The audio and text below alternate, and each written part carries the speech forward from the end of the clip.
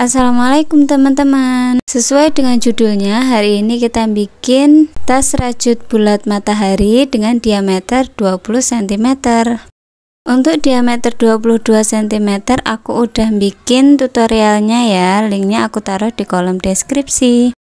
Siapkan alat dan bahannya. Aku pakai inner instan ya Diameter 20 cm dan tebalnya 7 cm Benangnya aku pakai nilon PP dan hakbannya aku pakai nomor 4. Langsung aja ke tutorialnya. Pertama-tama bikin magic ring. Rantai 1.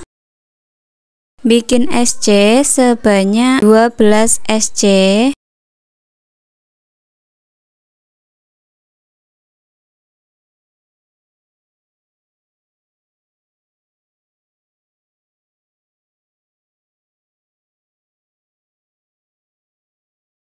Slip stitch di SC yang pertama.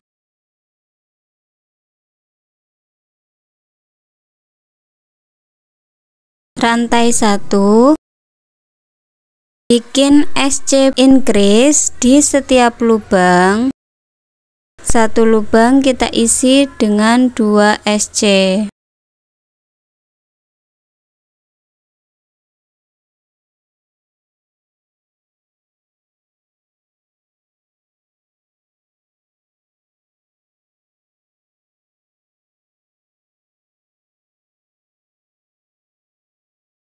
slip stitch di SC yang pertama.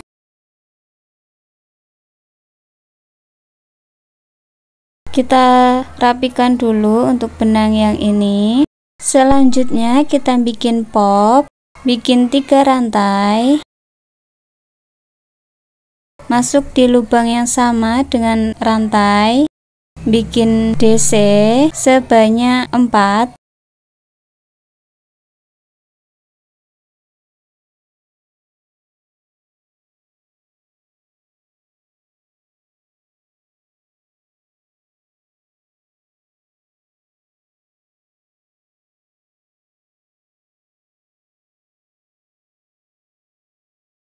total ada 5 DC rantai kita hitung satu.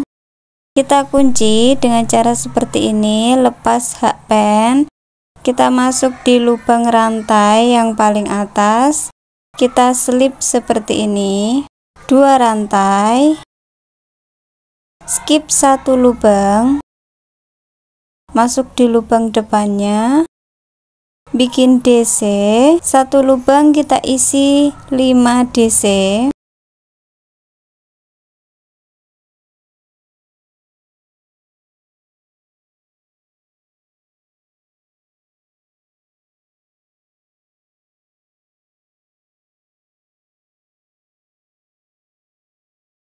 kunci dengan cara yang sama. Masuk di DC yang pertama slip dua rantai. Nah ulangi bikin pop seperti ini ya sampai satu putaran.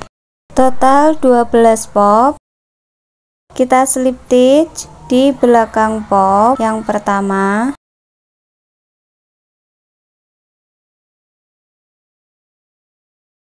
Slip stitch satu kali lagi di lubang ini antara pop satu dan satunya kita bikin pop lagi tiga rantai. 4 DC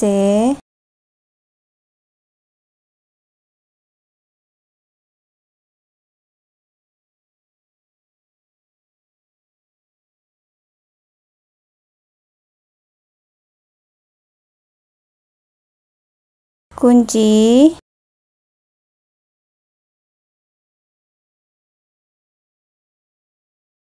dua rantai. Di row kedua bikin pop kita jalannya satu lubang isi dua pop satu lubang isi satu pop. Jadi dua satu dua satu. Nah di lubang pertama ini kita isi dengan dua pop. Bikin 5 DC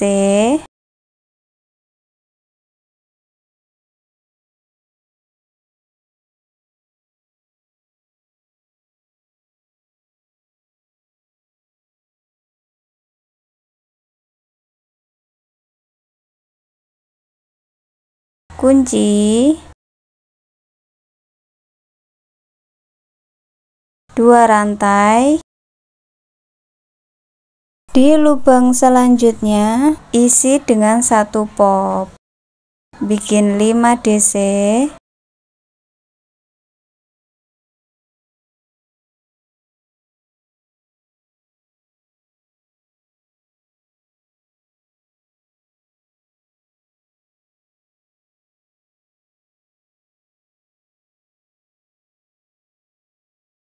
kunci.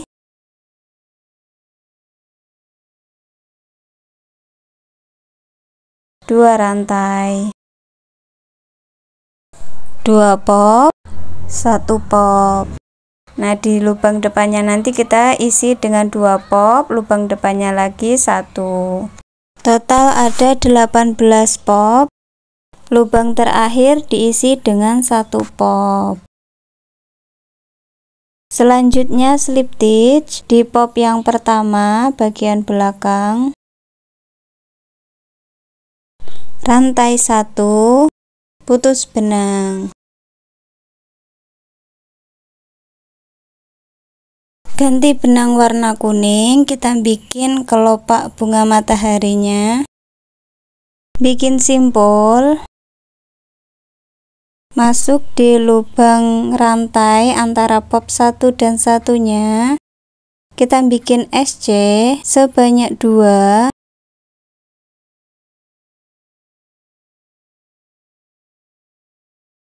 Lima rantai.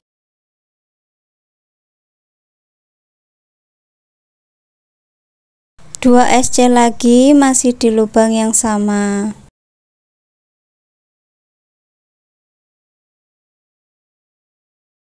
ganti di lubang selanjutnya. 2 SC 5 rantai. 2 SC lagi.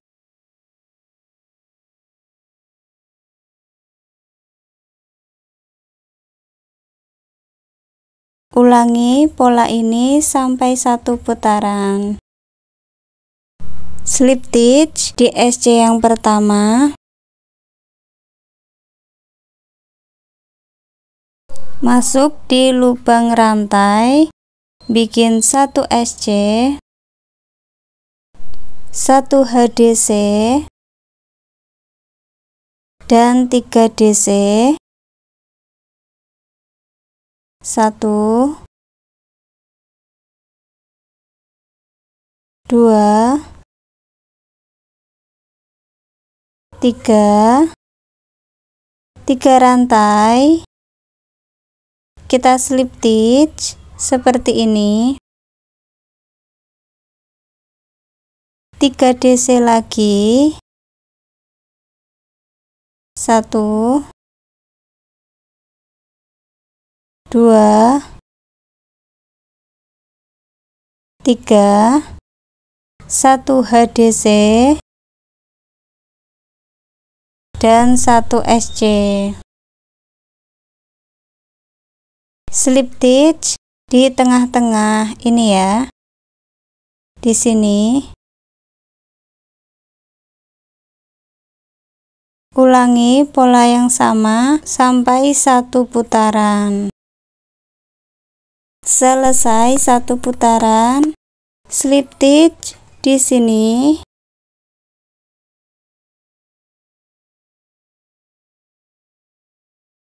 selanjutnya bikin kelopak yang kedua. Tiga rantai. Masuk di sini di tengah-tengah kelopak pertama. Bikin satu SC empat rantai.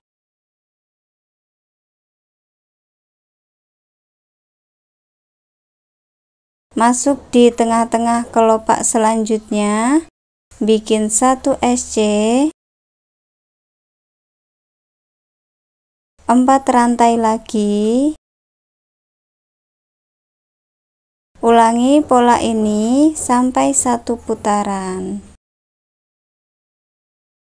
Selesai satu putaran, kita slip stitch di SC yang pertama.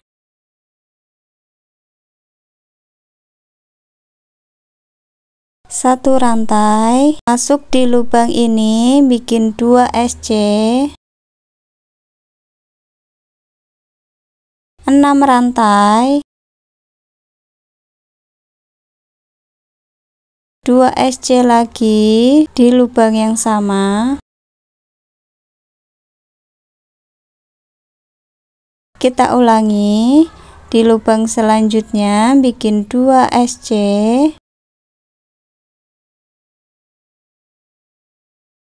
enam rantai.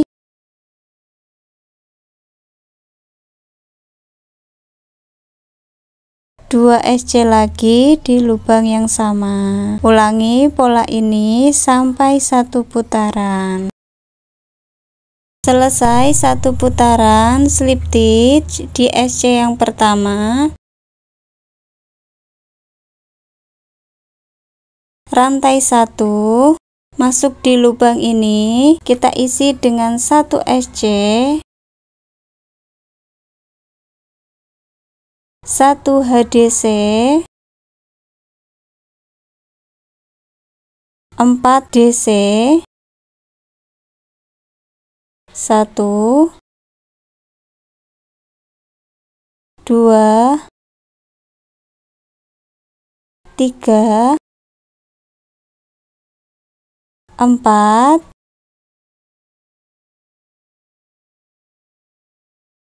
Selanjutnya tiga rantai.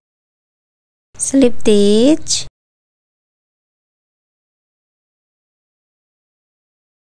Ulangi bikin 4 DC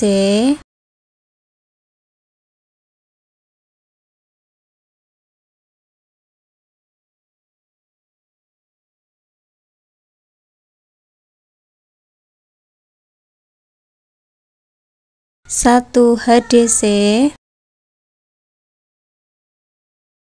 dan satu SC kita skip dua ya slip stitch di lubang ini. Ulangi pola ini ya sampai satu putaran. Selesai satu putaran kita skip dua lubang slip stitch di sini rantai satu dan putus benang. Di sini aku lebihin benangnya buat ngejahit si bunganya nanti ke badan tasnya. Selanjutnya bikin badan tas. Bikin simpul masuk di tengah-tengah kelopak seperti ini bikin satu SC selanjutnya 4 rantai. Masuk di tengah kelopak selanjutnya. Bikin satu SC 4 rantai lagi. Ulangi ya pola ini sampai satu putaran Selesai satu putaran slip stitch di SC yang pertama, tiga rantai, masuk di lubang ini. Bikin 5 DC dalam satu lubang. Untuk rantai tidak dihitung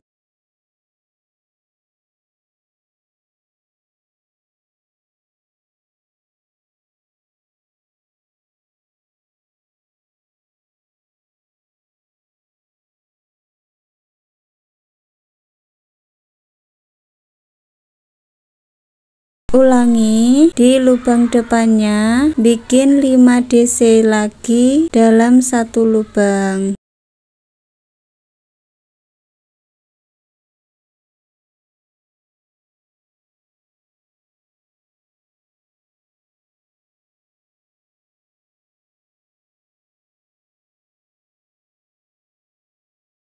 Selesai satu putaran slip stitch di DC yang pertama 3 rantai. Di row kedua kita bikin 4 DC lalu DC increase. Ini satu.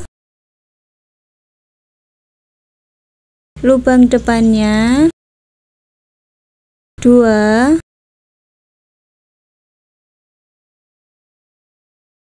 Tiga empat.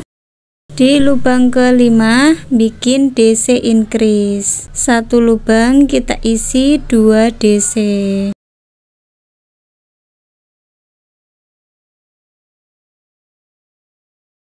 dan ulangi pola yang sama sampai satu putaran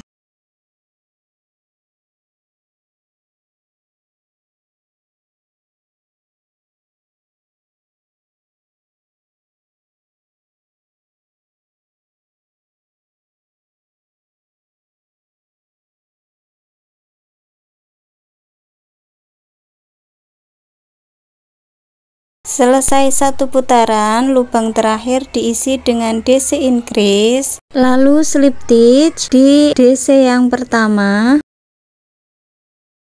rantai satu. Di putaran ketiga, bikin badan tasnya, kita bikin tusuk SC, satu lubang isi satu SC,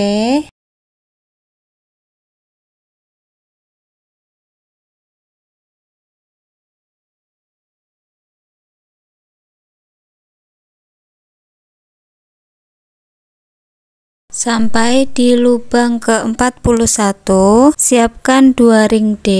Di sini aku pakai yang ukuran 2 cm isi satu ring D dengan 5 SC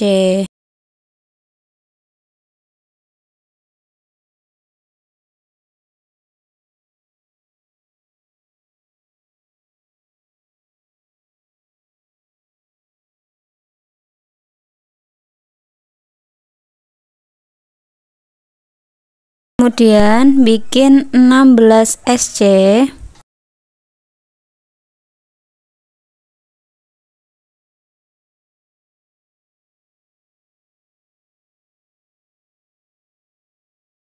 Selesai 16 SC, pasang ring D yang satunya, isi dengan 5 SC.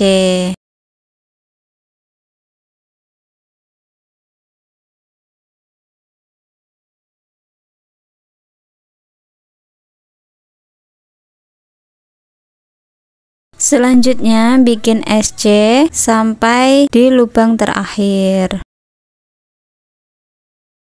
Kemudian slip stitch di SC yang pertama, rantai 1, bikin SC memutar lagi sebanyak dua kali putaran. Jadi total ada tiga kali putaran SC.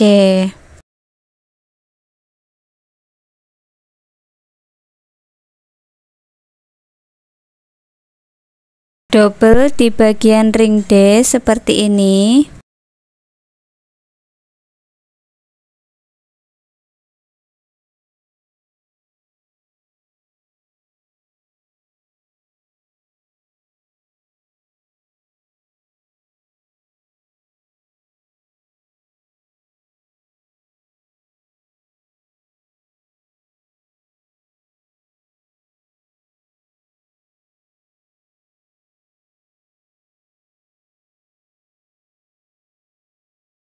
Selesai bikin tiga putaran SC memutar. Setelah kita double ring D nya tadi, kita tambah satu putaran lagi. Selanjutnya bikin tebalnya tas. Masih sama pakai tusuk SC.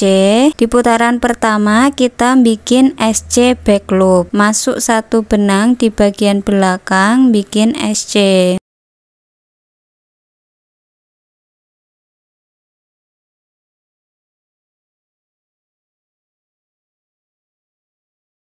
Selesai satu putaran, slip stitch di SC yang pertama.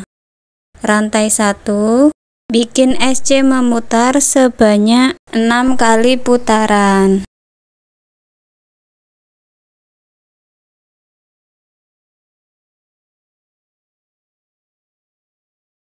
Total bikin tebalnya tas ada 7 kali putaran SC.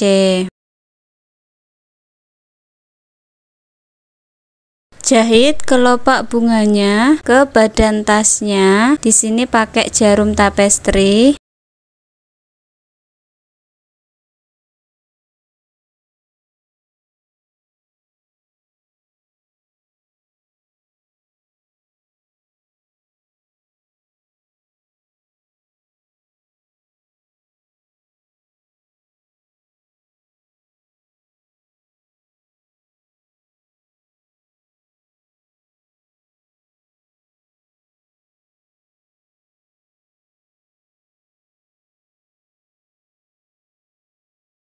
Untuk sisi bagian belakang aku udah bikin polanya ini ya. Kalian bisa screenshot.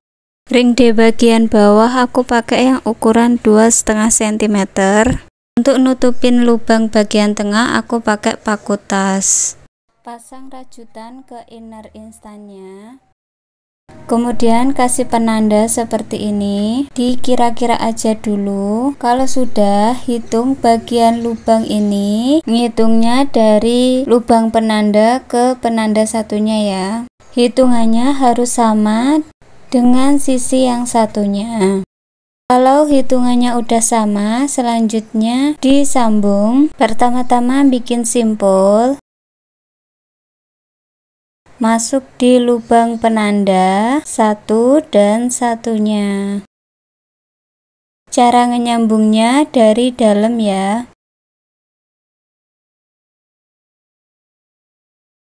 Isi dengan tusuk SC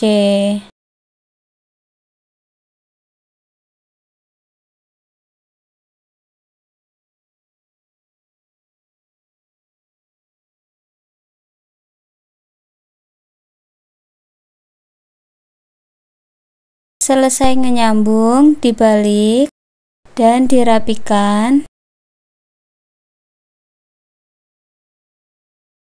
Kemudian jahit manual menggunakan benang jahit yang udah didobel biar hasilnya lebih kuat. Jahit tangan seperti biasa ya. Usahakan jahit dengan rapi